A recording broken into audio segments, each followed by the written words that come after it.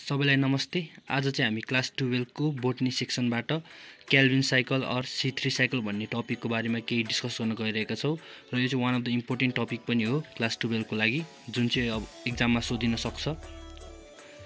र यो भिडियोमा चाहिँ म तपाईँहरूलाई यो टपिक आफूले सकेसम्म छोटो र इजी वेमा सिकाउने ट्राई गर्नेछु। फर्स्ट अफ अल यो टपिकमा जानुभन्दा अगाडि चाहिँ यो सि यो क्याल्भिन साइकलको बारेमा अलिकति केही इन्ट्रोडक्सन जस्तो गरिदिउँ न है। क्याल्भिन साइकल भनेको चाहिँ it is a cyclic reaction which occur which occur in dark phase dark phase of photosynthesis. मतलब चाहिँ यो चाहिँ विदाउट डार्क फेज भन्ने बित्तिकै तपाईँहरूले के अनुमान गर्न सक्नुहुन्छ भने यो चाहिँ विदाउट सनलाइटमा विदाउट सनलाइटको एब्सेन्समा अकर हुने एउटा प्रोसेस हो भनौँ न रियाक्सन हो साइक्लिक रियाक्सन र यो रियाक्सनमा चाहिँ CO two is converted into sugar and hence it is a process of carbon fixation.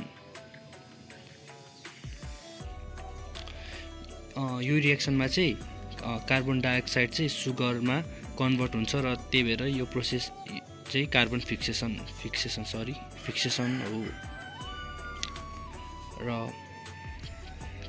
Kelvin cycle चाहिँ Calvin Calvin cycle is first फर्स्टमा चाहिँ कसले अब्जर्भ यसलाई यो साइ क्याल्भिन साइकल अब्जर्भ गरेको भन्दाखेरि observe by Melvin Calvin Melvin Calvin भन्नेले फर्स्टमा चाहिँ अब्जर्भ गरेका हुन्। जुनमा चाहिँ उहाँले उहाँले नोबल प्राइज पनि पाउनुभएको थियो नोबल प्राइज पनि पाउनुभएको थियो जसमा चाहिँ। र यसको इन्ट्रोडक्सन चाहिँ यति नै गरिदिउँ र अब चाहिँ अब यसको अब चाहिँ मेन टपिकपट्टि जाउँ हामी। हाम्रो यो केल्भिन साइकल चाहिँ थ्री फेजमा अकर गर्छ। थ्री यसको चाहिँ थ्री फेज हुन्छ भनौँ न। नम्बर वान फेज भनेको चाहिँ कार्बोक्जिलेटिभ फेज हुन्छ हाम्रो। कार्बोक्जिलेटिभ फेज वेरेज हाम्रो सेकेन्ड भनेको चाहिँ रिडक्टिभ फेज रिडक्टिभ फेज अनि हाम्रो लास्ट वान भनेको चाहिँ रिजेनरेटिभ फेज हुन्छ। रिजेनरेटिभ फेज हुन्छ। र अब हामी कुरा गर्न गइरहेको छौँ फर्स्ट नम्बर कार्बोक्सिलेटिभ फेजको बारेमा।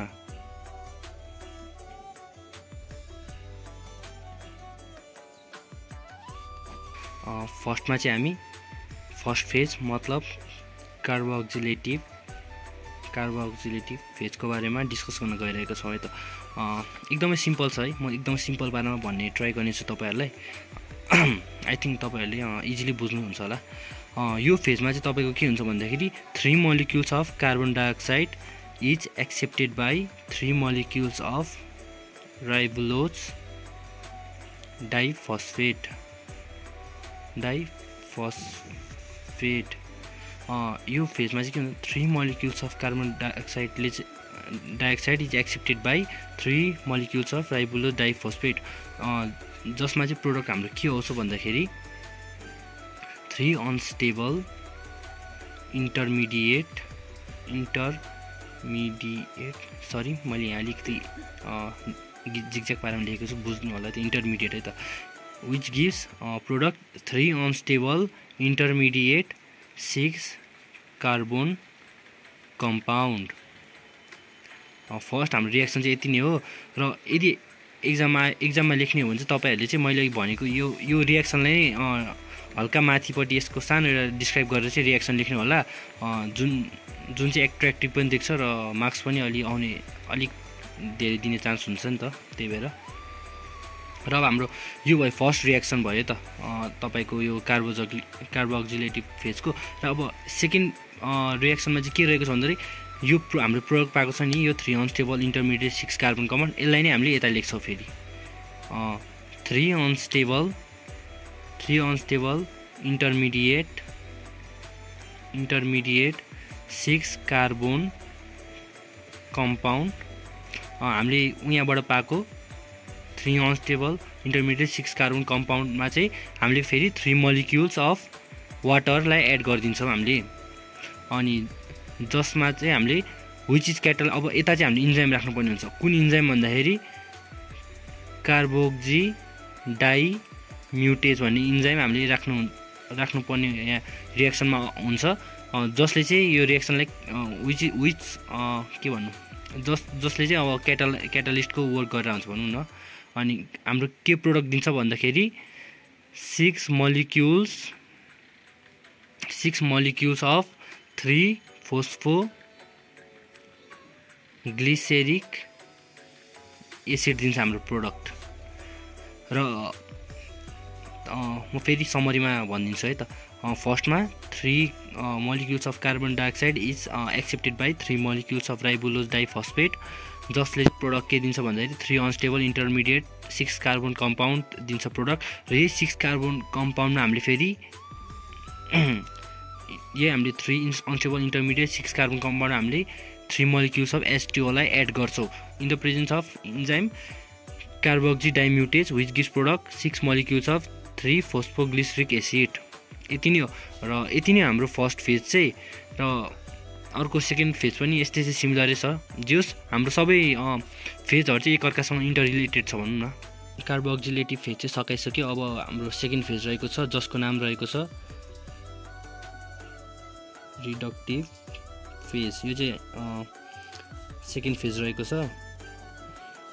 र सबै फेजहरू चाहिँ एकअर्कासँग रिलेटेड छ है जस्तै अब हामीले अघि कार्बोज कार्बोक्जिलेटिभ फेजको लास्टमा हामीले के प्रोडक्ट पाएको थियो भन्दाखेरि हामीले अघि last प्रोडक्टमा six molecules of three phospho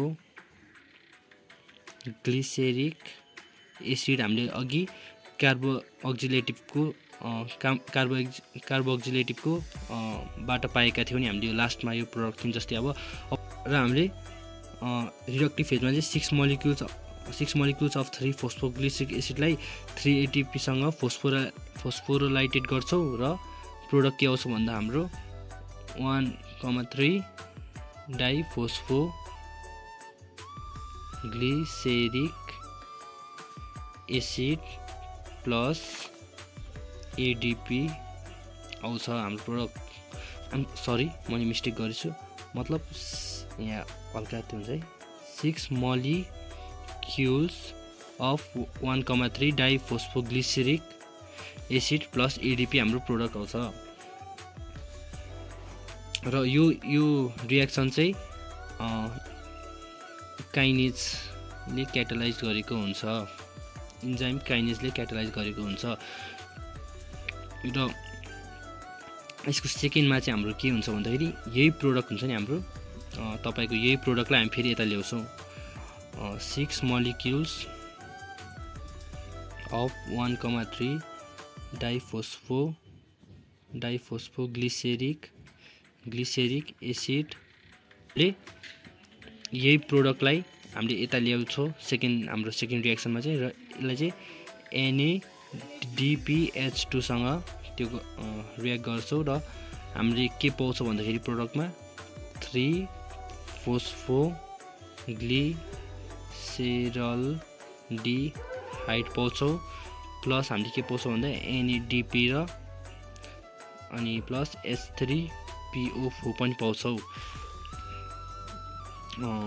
यति नै हो रिडक्टिभ फेजको चाहिँ। हामीले के गर्यो भन्दाखेरि six molecules of three phosphoglyceric acid हामीले जुन चाहिँ हाम्रो फर्स्ट फेजबाट पाएका थियौँ त्यसलाई चाहिँ हामी सिक्स एटिपीसँग रियाक्ट गरेर in the presence of enzyme काइनेजसँग गरेर हामीले six molecules of one comma three diphosphoglyceric acid plus ADP product पाए पाएको थियौँ र यसलाई नै हामीले six molecules of one comma three diphosphoglyceric एसिडलाई नै हामीले यता ल्याएर एनएडिपिएस टूसँग रियाक्ट गर्छौँ र which gift product three phospho glyceraldehyde plus NADP plus S three PO four हाम्रो रिडक्टिभ फेज पनि यति नै हो र अलमोस्ट हाम्रो इम्पोर्टेन्ट भनेको चाहिँ यति नै हो र अब रिजेनेरेटिभ एकदमै थोरै छ यो रिजेनेरेटिभ भनेको चाहिँ।